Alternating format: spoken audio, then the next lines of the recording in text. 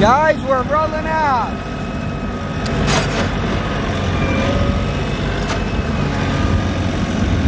In the Boomer 55. After getting that 74 done. They need us cold out here right now. We got the air compressor on back there. Then I gotta miss these two holes up here because they're bad ones.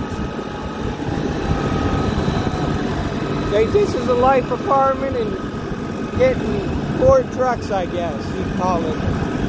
But when we get past them two holes, that one up there, we're gonna run.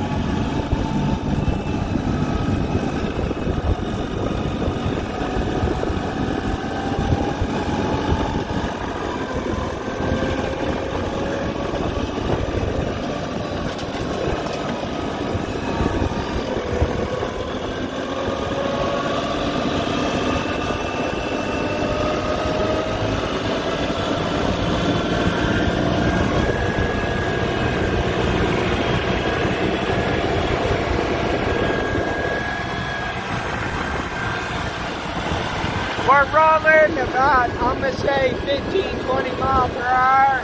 That's pretty decent for a New Holland uh, Boomer 55.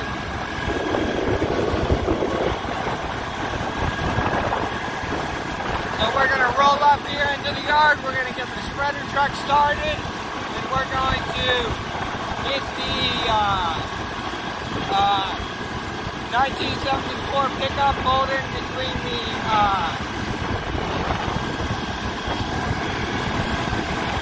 two things.